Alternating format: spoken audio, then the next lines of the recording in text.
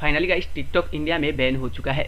तो आज के वीडियो में बताने वाला हूँ, आप रोपोसो ऐप में यूट्यूब चैनल से लिंक कैसे कर सकते हैं, जिसकी मदद से आपके यूट्यूब चैनल का सब्सक्राइबर ज़्यादा से ज़्यादा बढ़ सके। तो वीडियो को लास्ट तक देखना। यहाँ पे मैं आप लोगों को स्टेप बाई स्टेप बताने वाला हूँ रोपोसो से कैसे लिंक कर सकते हैं यूट्यूब चैनल को।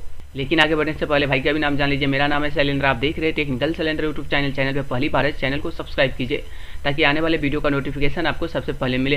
तो गाइज़ फाइनली हम आ चुके हैं मोबाइल के होम स्क्रीन पे। इसके बाद आपको करना क्या है? रोपोसो ऐप ओपन कर लेना है। मैंने ऑलरेडी रोपोसो ऐप ओपन कर चुका हूँ। इसके बाद सिंपल आपको यहाँ पे प्रोफ़ाइल पे ओपन करना है। तो देख सकते हैं, मेरा जो प्रोफ़ाइल है यहाँ पे ओपन हो चुका है। इसके बाद यहाँ पे सेटिंग पे क्लिक करना है। एडिट प्रोफ़ाइल पे क्लिक करना है। और नीचे आपको क्या करना जो लास्ट वाले हैं, यहाँ पे आपको यूट्यूब चैनल के लिंक के कॉपी करने के बाद पेस्ट करना है। तो सबसे पहले मैं इसे बैक कर देता हूँ, क्योंकि ऑलरेडी मैंने लिंक कर चुका था।